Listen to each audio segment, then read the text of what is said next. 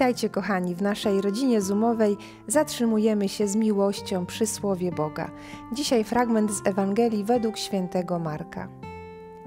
W owym czasie, gdy znowu wielki tłum był z nim i nie mieli co jeść, przywołał do siebie uczniów i rzekł im: Żal mi tego tłumu, bo już trzy dni trwają przy mnie, a nie mają co jeść. A jeśli ich puszczę zgłodniałych do domu, zasłabną w drodze bo niektórzy z nich przyszli z daleka.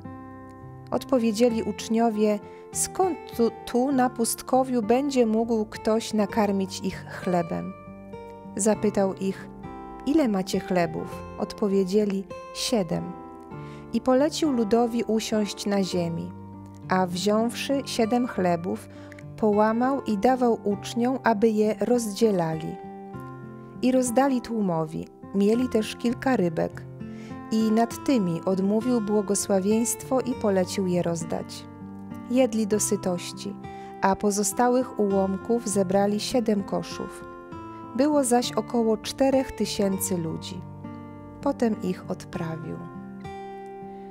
Bóg karmi nasze głody, Bóg odpowiada na nasze potrzeby, ale przede wszystkim Bóg je zauważa dzisiaj e, we wspomnienie Najświętszej Maryi Panny z Lourdes, w Dniu Chorego, kiedy w kościołach jest specjalna modlitwa za osoby cierpiące i chore, chcę Was zaprosić, abyśmy i my, którzy trwamy w kościele z miłością, pomodlili się za chorych. Zaraz zrobimy to krótko, wspólnie, ale chcę Was zachęcić, abyście wzięli ten fragment o Jezusie, który zauważa potrzebę człowieka zauważa głód, zauważa chorobę i abyście poświęcili 15, 20, może 30 minut na rozważenie tej Ewangelii.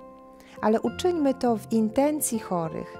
Niech nasze zatrzymanie się przy słowie, niech nasza miłość do słowa w bardzo konkretnej modlitwie, medytacji będzie ofiarowana w intencji chorych na całym świecie.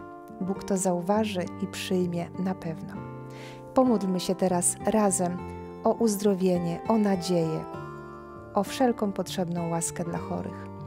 Zdrowaś Maryjo, łaski pełna, Pan z Tobą, błogosławionaś Ty między niewiastami i błogosławiony owoc żywota Twojego Jezus. Święta Maryjo, Matko Boża, módl się za nami grzesznymi, teraz i w godzinę śmierci naszej. Amen.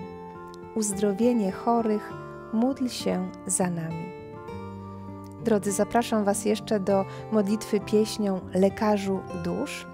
E, chcę Was też zachęcić, byśmy pomyśleli o chorych, bliskich, o chorych wokół nas. Może trzeba zadzwonić, powiedzieć dobre słowo, może odwiedzić, a może przesłać ten odcinek, w którym modlimy się za chorych. Serdecznie Was pozdrawiamy. Do zobaczenia.